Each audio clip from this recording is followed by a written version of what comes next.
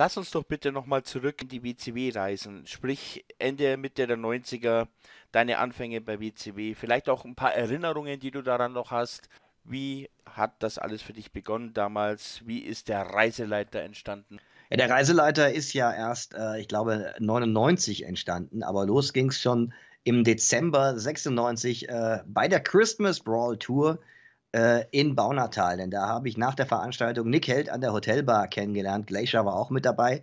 Äh, und da haben wir uns eben so munter unterhalten und da wurde mir dann gesagt, dass man vorhat, einen Wrestling-Sender zu eröffnen, das spätere DSF Action dann was ja dann im Juni 1997 äh, gestartet ist und ähm, dass man dafür eben noch Leute sucht, die da mithelfen und ob ich nicht Bock hätte, ähm, vielleicht da äh, zu helfen. Und dann bin ich dann äh, in Kontakt geblieben und dann ging es ja dann im Juni tatsächlich los mit DSF Action und äh, die erste Veranstaltung war dann die WCW NWO Takeover Tour aus Oberhausen. Das war sozusagen mein erster Tag im World of Wrestling Team. Vorher habe ich ein bisschen Hotlines schon gemacht, aber da war ich zum ersten Mal dann eben mit dabei, hatte keine wirkliche Aufgabe. Es hieß einfach nur, ja, komm halt vorbei, hilf ein bisschen bei Autogrammstunde, bei so Kleinigkeiten äh, und so weiter. War natürlich für mich damals auch eine, eine, eine, tolle Sache, muss ich ganz ehrlich sagen. Ich war ja 21 und äh, war ja schon ein kleiner Traum für mich, der da wahr geworden ist.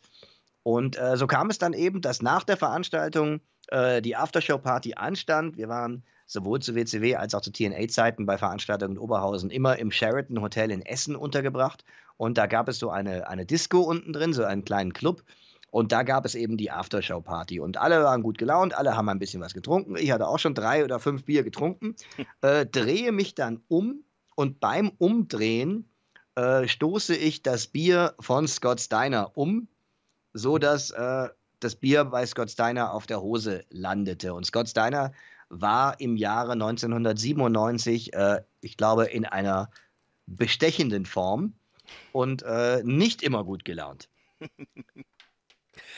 Da hast du dir dann einen Freund fürs Leben gemacht, oder? Da habe ich einen Freund fürs Leben gemacht oder zumindest für die nächsten äh, 20 Jahre zumindest. Denn äh, das, äh, an diesem Abend bin ich Scott Steiner dann wirklich aus dem Weg gegangen. Er hat mich auch immer böse angeguckt, wenn ich irgendwie nur in der Nähe war. Und ähm, das hat sich dann tatsächlich über die Jahre bei der WCW auch fortgesetzt, dass ähm, ich eine Heidenangst hatte vor Scott Steiner und der das natürlich gespürt hat. Der wusste auch noch im Hinterkopf irgendwo warum, aber er hat es einfach gespürt, dass ich Angst vor ihm habe und äh, hat sich dann natürlich einen Spaß draus gemacht, auch ganz klar.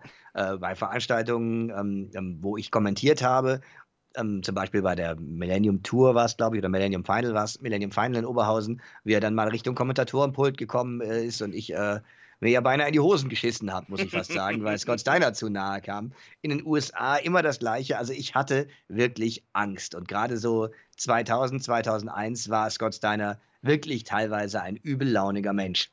Ja, dann kam es dann, ja, unbe absolut unberechenbar. Also, und äh, dann kam es also so, dass äh, die TNA First Impact Tour 2009 angesetzt wurde. Erste Tour von, von TNA damals in Deutschland äh, mit einem fantastischen Teilnehmerfeld, wenn man sich das heute nochmal äh, so anguckt, wer da alles dabei war, ein Booker T, ein Kurt Angle, die, äh, die Dudley Brothers und so weiter. Also das war schon wirklich eine tolle, eine tolle Truppe. Samoa Joe war mit dabei und, und, und.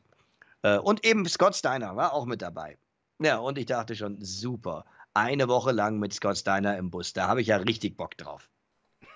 Ja, und dann kam es also auch so, dass äh, wir in, Oberhau in äh, Nürnberg, das war der erste Toursport, aufgeschlagen sind und äh, äh Scott Steiner da gleich reinmarschiert ist und äh, die Frage, in welche, welche Garderobe bekommt Scott Steiner? Die Antwort lautet, die, die er will.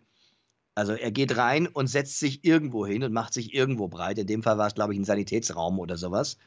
Und ähm, naja, gut, auf jeden Fall haben wir uns dann backstage irgendwann mal hinter dem Vorhang getroffen, als die Halle schon einigermaßen aufgebaut war. Wir haben uns dann hinter dem Vorhang getroffen und ich dachte, ich muss ihn jetzt zumindest mal darauf ansprechen, weil wir müssen ja irgendwie eine Woche zusammen verbringen.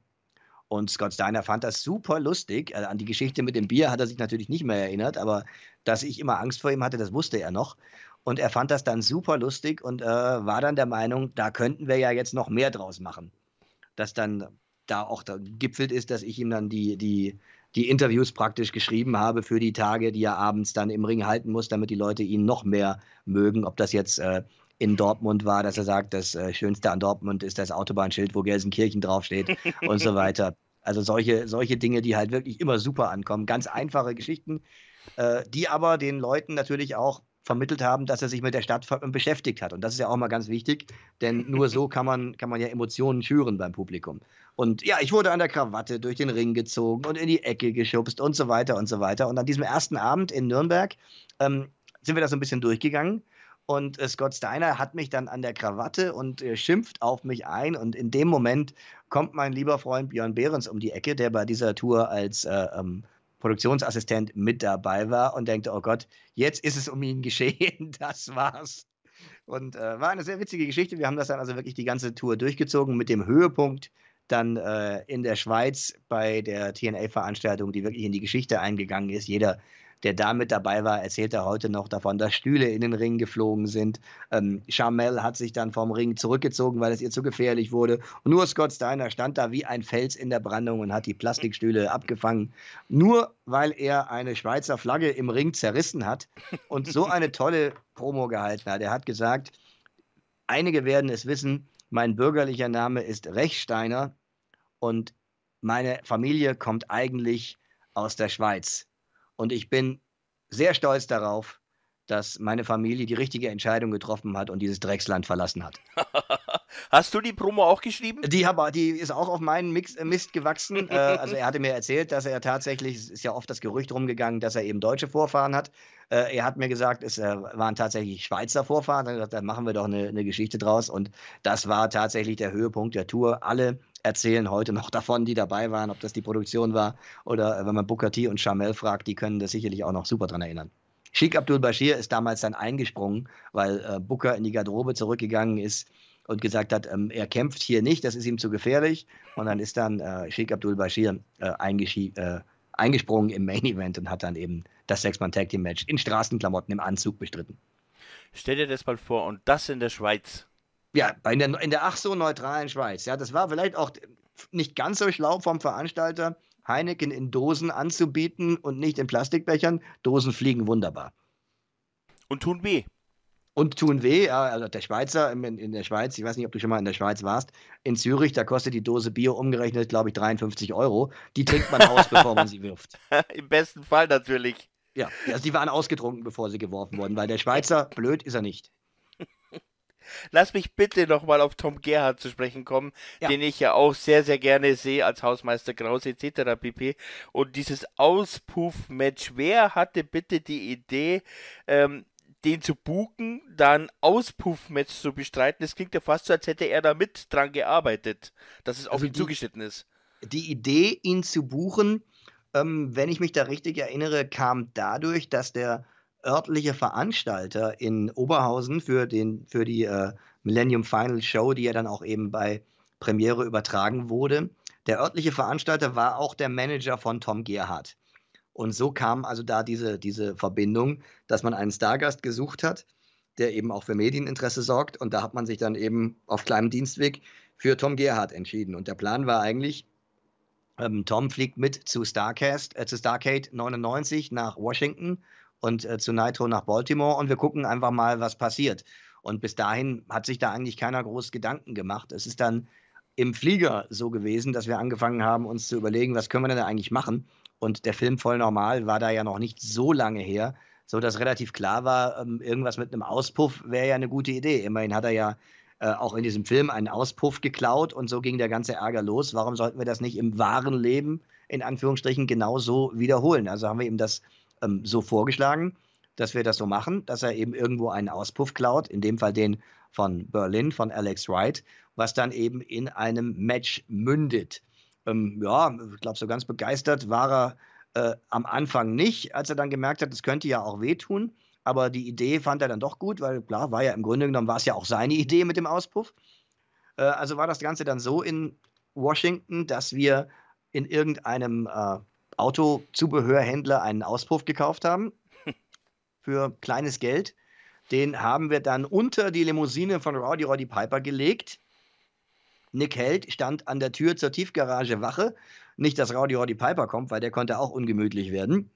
Und dann haben wir an der Limousine von Roddy Piper eben gedreht, wie Tom Gerhardt da runterrutscht und den Auspuff abbaut, der ja natürlich gar nicht angeschraubt war, denn das war ja unser mitgebrachter Auspuff.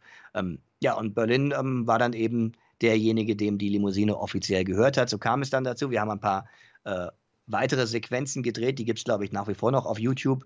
Ähm, ist alles ganz witzig geworden. Wir haben dann ein Training gemacht in München mit ähm, Tom Gerhardt, der hier in der, in der Boxfabrik in München äh, mit Steve Wright trainiert hat. Äh, und da ja. hat sich dann herausgestellt, dass Tom Gerhardt, sagen wir mal so, sportlich nicht unbedingt begnadet ist.